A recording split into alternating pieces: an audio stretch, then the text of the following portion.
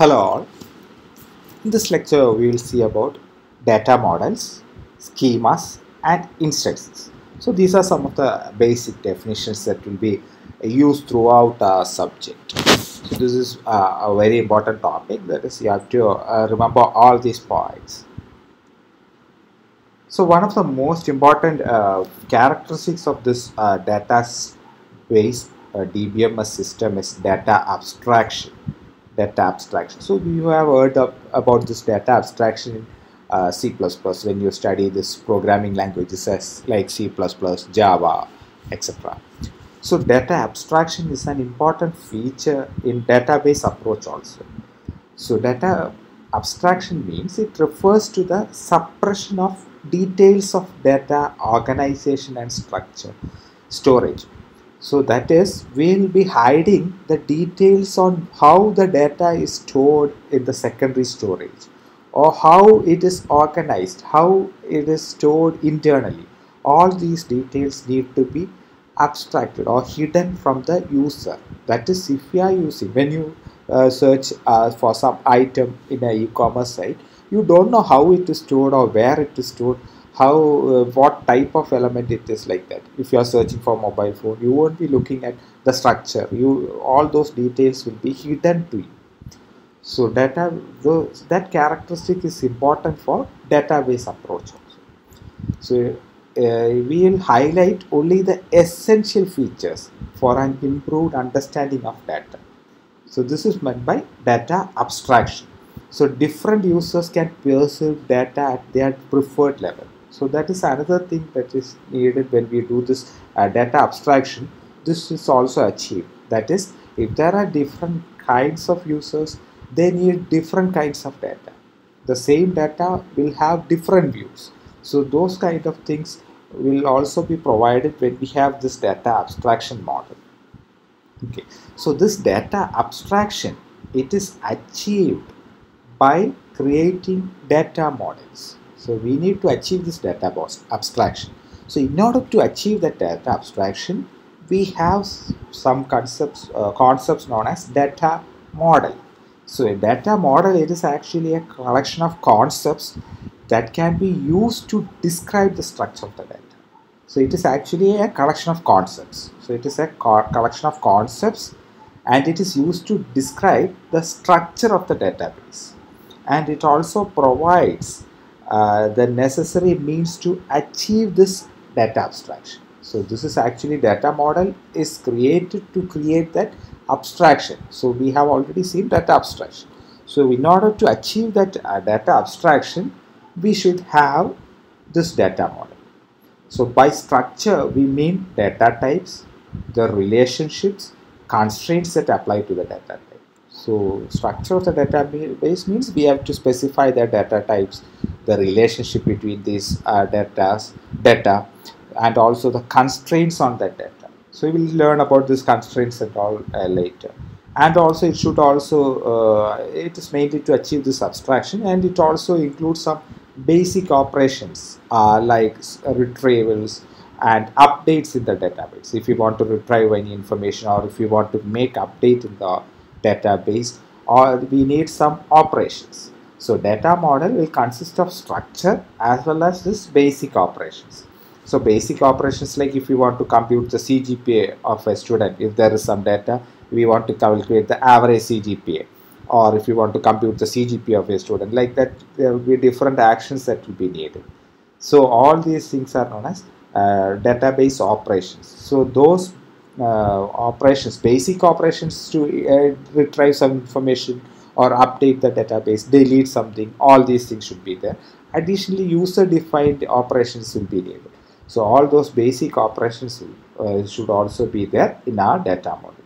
So data model is collection of concepts to describe the structure of the database and also it should have some basic operations. So this data model is created to achieve this abstraction, the data abstraction feature. So we have uh, different uh, categories of data models.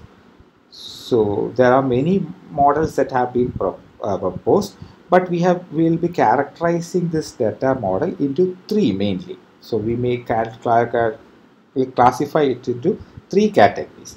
So first one is a high level or, or conceptual data model or we call it as semantic data model also. So it is conceptual data model, high level model or semantic uh, data model. So this is a high, uh, high level model. So this is actually it provide concepts that are closely to the way many users perceive it. So this is a high level model. It means that how users view this data. We need to model that thing. So if you have data, we want to model the data based on the user preference. So how users can view, uh, users view the data.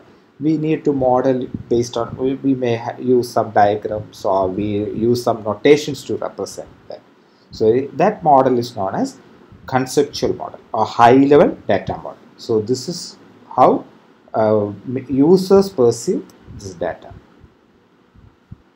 So mainly we have this entity relationship model, uh, entity relationship data model.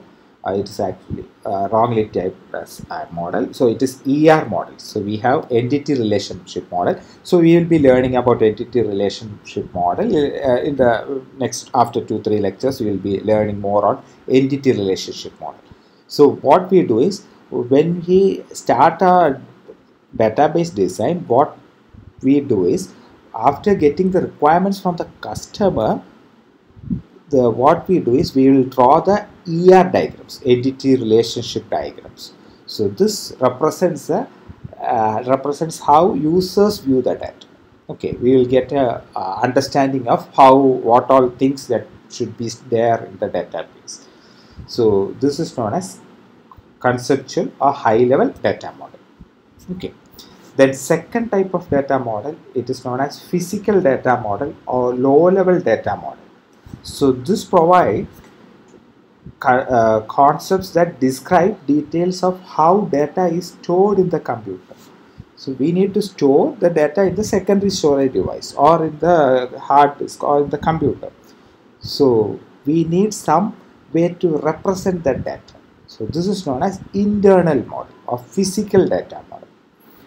So it can be uh, B tree, B plus tree, there are different or hashing technique, or using different techniques we will be storing the data elements in the secondary device. So we need to represent that uh, data. Then it is known as physical data model. So we'll be learning uh, something about this physical data model in fourth module I think so. So we'll be learning about B plus tree, B tree and all hashing, all these techniques we'll be studying. So that is actually how data is represented intern internally. So it is it deals with record formats, record uh, orderings, then access paths, how to access an element. All these things will be uh, specified in this physical data model. Then we have a third model. It is known as implementational or representational data model so this uh, this will be in between these two extremes. So this is high level and this is low level. So in between these two model, we have this implementation implementational representational data model. Yeah, so it provide concepts that fall between the above two. So it is used by many commercial uh, DBMS uh, implementations. So it will be mainly used by many DBMS implementations. We have this model. So mainly we have this um, relational data model, network model, hierarchical model, all these comes under this representational data model. So it stands in between these two models. So the thing is that we have, when we start designing, we have the raw data. We get this data from the users. So if we want to design a college automation software, we will discuss with the college authorities and they will say, I want to store the student name, phone number like that, this data is there. So what we start with this we start with this data and we will model it. And we will model and we will represent that data using this entity relationship model. So that is what we learn in entity relationship diagram. Then after that what you have to do we have to store it in the database. For that we will be using some relational database or object oriented database or RDBMS like that there are different databases available so when we use such a database to represent that thing, we call it as implementational representation data model. Then after that, when we represent the data, it should be stored in, internally in the hard disk. So it will be represented using this physical data model. So we'll be learning all these things. So in the first module, we'll be learning about ER model. And in the second module, we'll be learning uh, more on this relational data model. And I think in the third module, we'll be learning about this physical data. Then uh, we have to see some more definitions. Uh, next is database schema and schema diagram. What do you mean by this database schema? So this word will be used throughout our text. So it is actually the description of a database is known as database schema. So the description of this database is known as database schema. So it includes a description of the database structure, data types and the constraints on the database.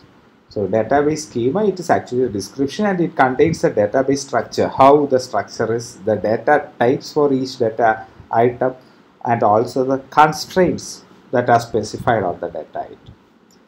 Then we have a schema diagram. So schema diagram, it is actually an illustrative display of a database schema. That is if you rep represent it pictorially, pictorially, it is known as a schema diagram. Then we have schema construct. This, these are all some terms. So it is a component of the uh, schema or an object within the schema. Example, student course, if you are representing a college database, then we have, have a construct, student. So the student table will be there. Then it is known as a schema construct. So schema means description. Then if it is represented diagrammatically, we call it a schema diagram. Then construct means it is a component of the schema. Maybe student, course, faculty like that all these will be considered as schema constructs. So this is an example for schema diagram as we have student. So this is one schema construct, this is course is another schema construct, prerequisite. Like that there are different uh, schema constructs are there. Uh, these are some of the constructs and there will be, mm, so this is what I have told. Then this is actually the description of the database. This can be considered as the schema also. So this is actually the schema description of the database. This means we have name student. Then we have to specify the data type also. Here the data type is not specified. Name should be character. Student number should be a 10 digit number. Like that there will be some uh, uh, some data types also. Then there will be some constraints. We may specify that student number should be unique. So that is known as uniqueness constraint.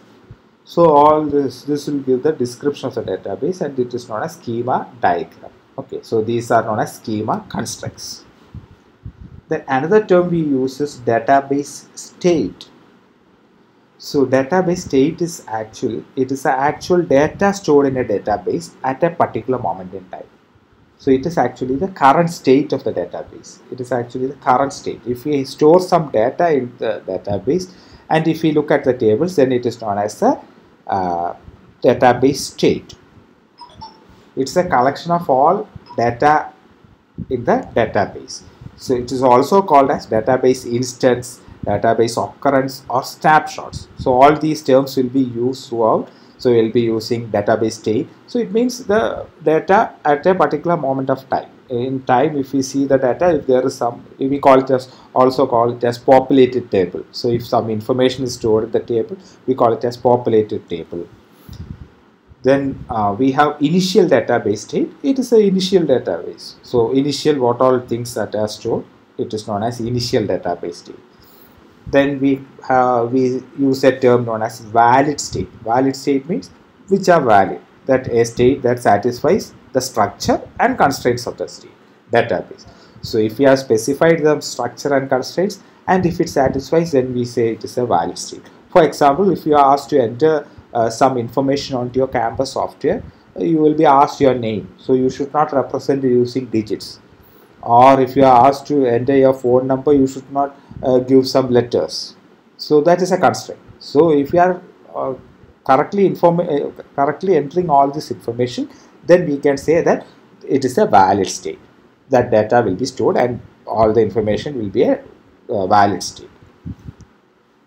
So this is an example for database state. So this is the same example. We have student, we have two elements. So this is at a particular moment in time. This may not be the initial state. It, it is after loading some of the elements. We have this state so this is known as populated table. This is a uh, database occurrence we call we use differences database instance snapshots so snapshot of a database. So this is a data at a particular moment in time. So this is known as database state. Then we will see the difference between database schema versus database state so this is actually so this is known as database schema. So this is known as database schema. And this is known as so the populated table is known as so if there is information in the schema it is known as database state. If there is data that is stored then we call it as database state. So it, the distinction between these two are database schema changes very infrequently. So we won't be changing the schema always. So if we want so if we are storing the, these information that student uh, may, student number uh, class major. So if you want to add phone number to this so we have to add we have to change the schema. Because that schema definition it is not there in the table. That column is not present. So we need to change the schema. So that schema change won't happen always. That happens only when there's uh, some updation is needed in the structure of the database so database schema changes very infrequently, but database state changes every time the database is updated. So whenever we change something, so if we are updating the phone number or if we are deleting a record, if we want to delete a student, if we want to add some uh, information of a student, uh, so every time when we change, make those changes, the database state will be changing. So database changes every time the database is updated. And we use another term schema is also called as intension and uh, state is also called extension. So schema is called intension and state is called extension. So this is a reference. Uh, use 6th and 7th edition of this book. Thank you.